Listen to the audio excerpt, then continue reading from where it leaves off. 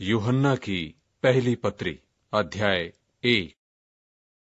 उस जीवन के वचन के विषय में, जो आदि से था, जिसे हमने सुना, और जिसे अपनी आँखों से देखा, वरन जिसे हमने ध्यान से देखा, और हाथों से छुआ, ये जीवन प्रकट हुआ, और हमने उसे देखा, और उसकी गवाही देते हैं। और तुम्हें उस अनंत जीवन का समाचार देते हैं, जो पिता के साथ था और हम पर प्रकट हुआ। जो कुछ हमने देखा और सुना है, उसका समाचार तुम्हें भी देते हैं। इसलिए कि तुम भी हमारे साथ सहभागी हो और हमारी ये सहभागिता पिता के साथ और उसके पुत्र यीशु मसीह के साथ है। और ये बातें हम इसलिए लिखते हैं कि हमारा आनंद पूरा हो जाए। जो समाचार हमने उससे सुना और तुम्हें सुनाते हैं, वो ये है कि परमेश्वर ज्योति है और उसमें कुछ भी अंधकार नहीं। यदि हम कहें कि उसके साथ हमारी सहभागिता है और फिर अंधकार में चलें तो हम झूठे हैं और सत्य पर नहीं चलते। पर यदि जैसा वह ज्योति में है, वैसे ही हम भी ज्योति में चलें तो एक दूसरे से सहभागिता रखते हैं और उसके पुत्र यीशु का लोहू हमें सब पापों से शुद्ध करता है। यदि हम कहें कि हम कुछ भी पाप नहीं तो अपने आप को धोखा देते हैं और हम में सत्य नहीं। यदि हम अपने पापों को मान लें तो वह हमारे पापों को क्षमा करने और हमें सब अधर्म से शुद्ध करने में विश्वास योग्य और धर्मी है। यदि कहें कि हमने पाप नहीं किया तो उसे झूठा ठहराते हैं, और उसका वचन हम में नहीं है। अध्याय दो।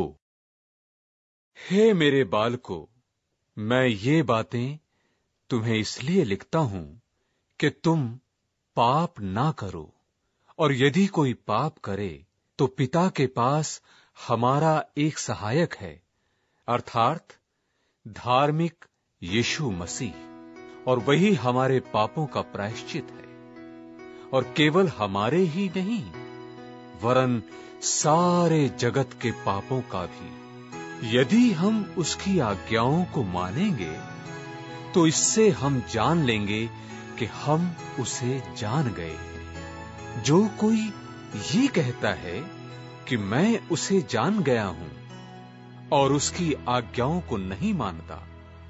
वह झूठा है और उसमें सत्य नहीं, पर जो कोई उसके वचन पर चले, उसमें सचमुच परमेश्वर का प्रेम सिद्ध हुआ है। हमें इसी से मालूम होता है कि हम उसमें हैं। जो कोई ये कहता है कि मैं उसमें बना रहता हूँ। उसे चाहिए कि आप भी वैसा ही चले, जैसा वह चलता था। हे प्रियो, मैं तुम्हें कोई नई आज्ञा नहीं लिखता, पर वही पुरानी आज्ञा जो आरंभ से तुम्हें मिली है, यह पुरानी आज्ञा वह वचन है जिसे तुमने सुना है। फिर मैं तुम्हें नई आज्ञा लिखता हूँ। और ये तो उसमें और तुम में सच्ची ठहरती है, क्योंकि अंधकार मिटता जाता है और सत्य की ज्योति अभी चमकने लगी है। जो कोई ये कहता है कि मैं ज्योति में हूँ और अपने भाई से बैर रखता है, वह अब तक अंधकार ही में है। जो कोई अपने भाई से प्रेम रखता है, वह ज्योति में रहता है। और ठोकर नहीं खा सकता। पर जो कोई अपने भाई से बैर रखता है, वह अंधकार में है और अंधकार में चलता है और नहीं जानता कि कहाँ जाता है, क्योंकि अंधकार ने उसकी आँखें अंधी कर दी हैं। हे बालको, मैं तुम्हें इसलिए लिखता हूँ कि उसके नाम से तुम्हारे पाप क्षमा हुए। हे पितरो मैं तुम्हें इसलिए लिखता हूँ कि जो आदि से है, तुम उसे जानते हो। हे जवानों, मैं तुम्हें इसलिए लिखता हूँ कि तुमने उस दुष्ट पर विजय पाई है। हे लड़कों, मैंने तुम्हें इसलिए लिखा है कि तुम पिता को जान गए हो। हे पितरो, मैंने तुम्हें इसलिए लिखा है कि जो आदि से है, तुम उसे जान गए हो। हे जवानों, मैंने तुम्हें इसलिए लिखा है कि तुम बलवंत हो और परमेश्वर का वचन तुम में बना रहता है और तुमने उस दुष्ट पर जय पाई है। तुम ना तो संसार से और ना संसार में की वस्तुओं से प्रेम रखो। यदि कोई संसार से प्रेम रखता है, जो उसमें पिता का प्रेम नहीं है क्योंकि जो कुछ संसार में है, अर्थात शरीर की अभिलाषा और आँखों की अभिलाषा और जीविका का घमंड, वो पिता की ओर से नहीं, परंतु संसार ही की ओर से है और संसार और उसकी अभिलाषाएँ दोनों मिटते जाते हैं। पर जो परमेश्वर की इच्छा पर चलता है वह सर्वदा बना रहेगा। हे लड़को, यह अंतिम समय है, और जैसा तुमने सुना है कि मसीही का विरोधी आने वाला है। उसके अनुसार अब भी बहुत से मसीही के विरोधी उठे हैं। इससे हम जानते हैं कि यह अंतिम समय है। वे निकले तो हम ही में से, पर हम में के थे नहीं। क्योंकि यदि हम में के होते तो हमारे साथ रहते। पर निकल इसलिए गए कि यह प्रकट हो कि वे सब हम में के नहीं हैं, और तुम्हारा तो उस पवित्र से अभिषेक हुआ है, और तुम सब कुछ जानते हो। मैंने तुम्हें इसलिए नहीं लिखा कि तुम सत्य को नहीं जानते, पर इसलिए कि उसे जानते हो, और इसलिए कि कोई झूठ सत्य की ओर से नहीं। झूठा कौन है? केवल वह, जो यीशु के मसीह होने से इनकार करता है। और मसीह का विरोधी वही है, जो पिता का और पुत्र का इनकार करता है। जो कोई पुत्र का इनकार करता है, उसके पास पिता भी नहीं जो पुत्र को मान लेता है, उसके पास पिता भी है। जो कुछ तुमने आरंभ से सुना है, वही तुम में बना रहे।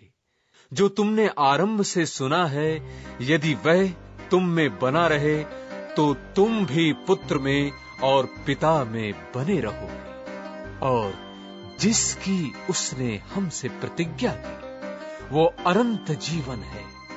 मैंने ये बातें तुम्हें उनके विषय में लिखी हैं, जो तुम्हें भरमाते हैं। और तुम्हारा वह अभिषेक, जो उसकी ओर से किया गया, तुम में बना रहता है। और तुम्हें इसका प्रयोजन नहीं कि कोई तुम्हें सिखाए, वरन जैसे वह अभिषेक, जो उसकी ओर से किया गया, तुम्हें सब बातें सिखाता है। और यह सच्चा है। झूठा नहीं, और जैसा उसने तुम्हें सिखाया है, वैसे ही तुम उसमें बने रहते हो। निदान, हे बालको, उसमें बने रहो, कि जब वह प्रकट हो तो हमें हियाव हो, और हम उसके आने पर उसके सामने लज्जित ना हो। यदि तुम जानते हो कि वह धार्मिक है तो यह भी जानते हो कि जो कोई धर्म का काम करता है, वह उससे जन्मा है। अध्याय तीन।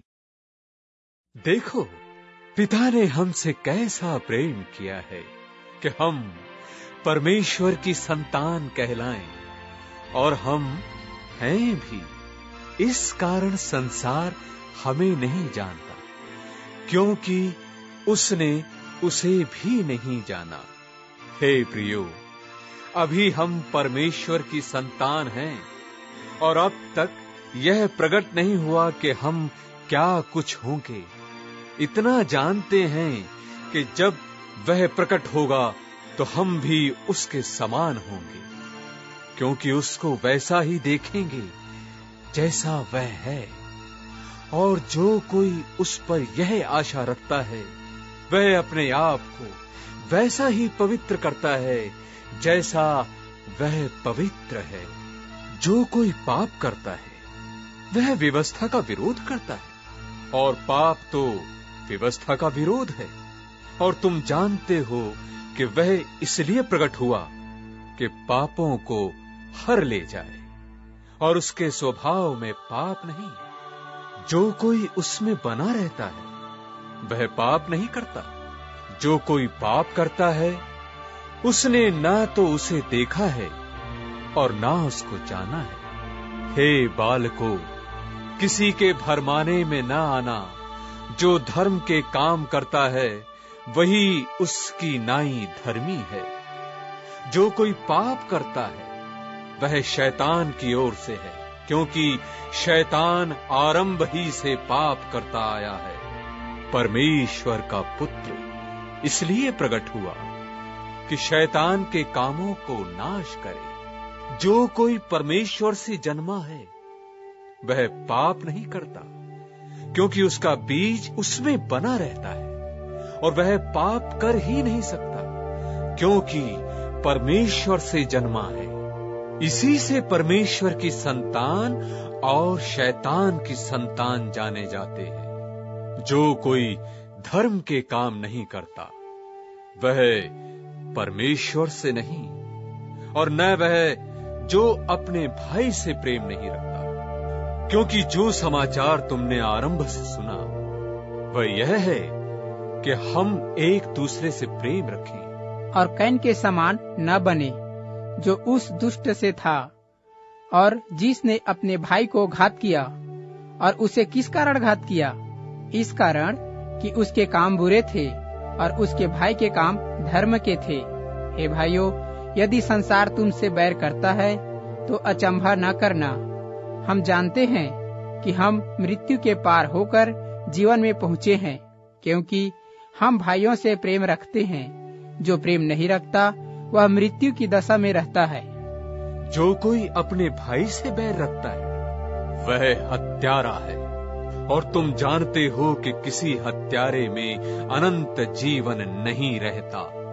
हमने प्रेम इसी से जाना कि उसने हमारे लिए अपने प्राण दे दिए और हमें भी भाइयों के लिए प्राण देना चाहिए।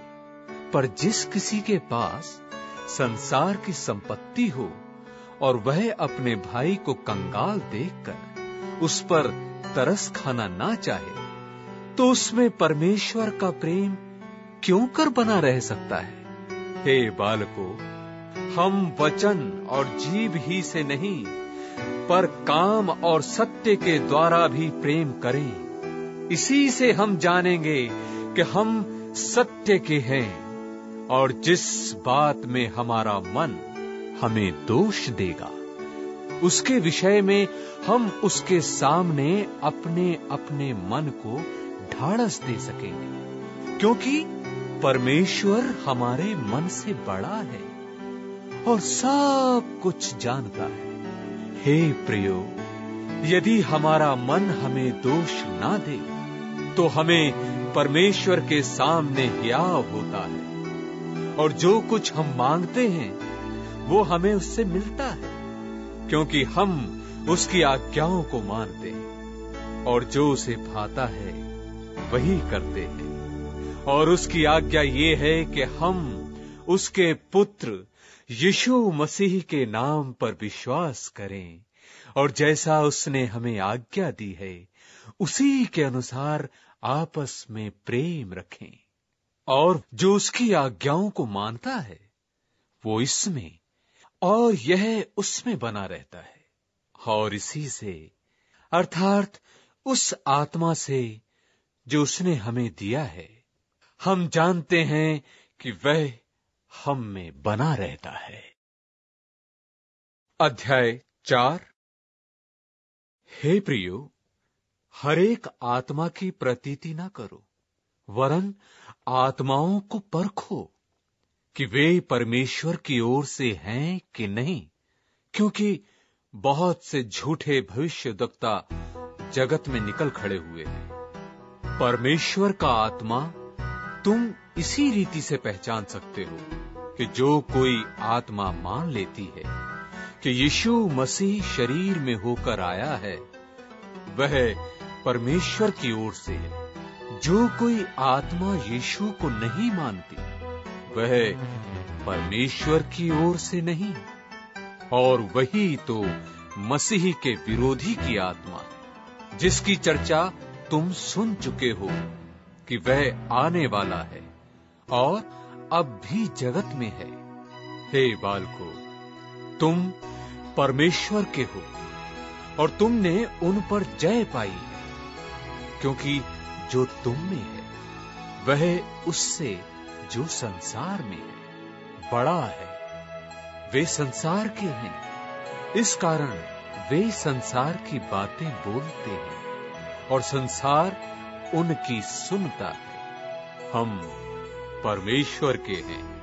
जो परमेश्वर को जानता है, वह हमारी सुनता है। जो परमेश्वर को नहीं जानता, वह हमारी नहीं सुनता। इसी प्रकार हम सत्य की आत्मा और भ्रम की आत्मा को पहचान लेते हैं। हे प्रियो, हम आपस में प्रेम रखें।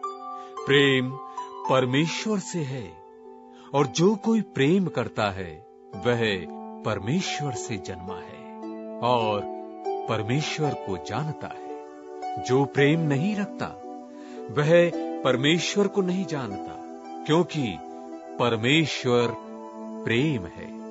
जो प्रेम परमेश्वर हमसे रखता है, वह इससे प्रकट हुआ कि परमेश्वर ने अपने इकलौते पुत्र को जगत में भेजा है कि हम उसके द्वारा जीवन पाए। प्रेम इसमें नहीं कि हमने परमेश्वर से प्रेम किया, पर इसमें है कि उसने हमसे प्रेम किया और हमारे पापों के प्रायश्चित के लिए अपने पुत्र को भेजा। हे प्रियो जब परमेश्वर ने हमसे ऐसा प्रेम किया तो हमको भी आपस में प्रेम रखना चाहिए। परमेश्वर को कभी किसी ने नहीं देखा। यदि हम आपस में प्रेम रखें तो परमेश्वर हम में बना रहता है और उसका प्रेम हम में सिद्ध हो गया है। इसी से हम जानते हैं कि हम उसमें बने रहते हैं और वह हम में। क्योंकि उसने अपने आत्मा में से हमें दिया है, और हमने देख भी लिया, और गवाही देते हैं कि पिता ने पुत्र को जगत का उद्धार करता करके भेजा है। जो कोई यह मान लेता है कि यीशु परमेश्वर का पुत्र है, परमेश्वर उसमें बना रहता है, और वह परमेश्वर में, और जो प्रेम परमेश्वर हमसे रखता है उसको हम जान गए और हमें उसकी प्रतीति है। परमेश्वर प्रेम है, जो प्रेम में बना रहता है, वह परमेश्वर में बना रहता है और परमेश्वर उसमें बना रहता है। इसी से प्रेम हम में सिद्ध हुआ कि हमें न्याय के दिन हियाव हो, क्योंकि जैसा वह है, वैसे ही संसार में हम भी हैं।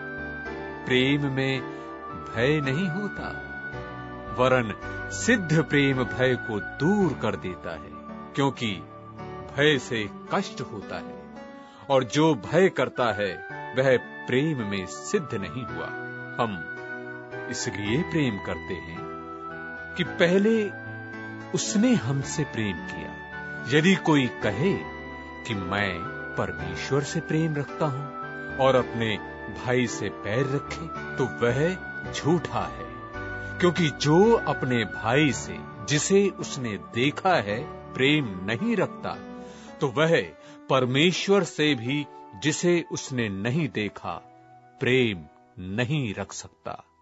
और उससे हमें यह आज्ञा मिली है कि जो कोई परमेश्वर से प्रेम रखता है, वह अपने भाई से भी प्रेम रखे। अध्याय पाँच। जिसका यह विश्वास है कि यीशु ही मसीह है, वो परमेश्वर से उत्पन्न हुआ है, और जो कोई उत्पन्न करने वाले से प्रेम रखता है, वो उससे भी प्रेम रखता है, जो उससे उत्पन्न हुआ है। जब हम परमेश्वर से प्रेम रखते हैं और उसकी आज्ञाओं को मानते हैं तो इसी से हम जानते हैं कि परमेश्वर की संतानों से प्रेम रखते हैं। परमेश्वर का प्रेम यह है कि हम उसकी आज्ञाओं को माने। उसकी आज्ञाएँ कठिन नहीं हैं, क्योंकि जो कुछ परमेश्वर से उत्पन्न हुआ है, वह संसार पर जय प्राप्त करता है। और वह विजय जिससे संसार पर जय प्राप्त होती है, हमारा विश्वास है। संसार पर जय पाने वाला कौन है? केवल वह जिसका यह विश्वास है कि यीशु परमेश्वर का पुत्र है। यही है वो जो पानी और लोहू के द्वारा आया था। अर्थात यीशु मसीह। वो ना केवल पानी के द्वारा, वरन पानी और लोहू के द्वारा आया और जो गवाही देता है, वह आत्मा है, क्योंकि आत्मा सत्य है, और गवाही देने वाले तीन हैं, आत्मा, पानी और लोहू। तीनों एक ही बात पर सम्मत हैं। जब हम मनुष्यों की गवाही मान लेते हैं तो परमेश्वर की गवाही तो उससे बढ़कर है, और परमेश्वर की गवाही यह है कि उसने अपने पुत्र के विषय में गवाही दी है। जो परमेश्वर के पुत्र पर विश्वास करता है, वो अपने ही में गवाही रखता है। जिसने परमेश्वर की प्रतीति नहीं की, उसने उसे झूठा ठहराया, क्योंकि उसने उस गवाही पर विश्वास नहीं किया, जो परमेश्वर ने अपने पुत्र के विषय में दी है। वह गवाही यह है कि परमेश्वर ने हमें अनंत जीवन दिया है। ये जीवन उसके पुत्र में है, जिसके पास पुत्र है, उसके पास जीवन है, और जिसके पास परमेश्वर का पुत्र नहीं, उसके पास जीवन भी नहीं है। मैंने तुम्हें जो परमेश्वर के पुत्र के नाम पर विश्वास करते हो, इसलिए लिखा है कि तुम जानो कि अनंत जीवन तुम्हारा है, और हमें उसके सामने जो हियाव होता है, वो ये है कि यदि हम उसकी इच्छा के अनुसार कुछ मांगते हैं तो वो हमारी सुनता है। और जब हम जानते हैं कि जो कुछ हम मांगते हैं, वो हमारी सुनता है तो ये भी जानते हैं कि जो कुछ हमने उससे मांगा वो पाया है। यदि कोई अपने भाई को ऐसा पाप करते देखे, जिसका फल मृत्यु ना हो तो विनती करे और परमेश्वर उसे उनके लिए, जिन्होंने ऐसा पाप किया है, जिसका फल मृत्यु ना हो, जीवन देगा। पाप ऐसा भी होता है, जिसका फल मृत्यु है। इसके विषय में मैं विनती करने के लिए नहीं कहता। सब प्रकार का अधर्म तो पाप है, परंतु ऐसा पाप भी है जिसका फल मृत्यु नहीं। हम जानते हैं कि जो कोई परमेश्वर से उत्पन्न हुआ है, वह पाप नहीं करता, पर जो परमेश्वर से उत्पन्न हुआ, उसे वह बचाए रखता है और वह दुष्ट उसे छूने नहीं पाता। हम जानते हैं कि हम परमेश्वर से हैं। और सारा संसार उस दुष्ट के वश में पड़ा है।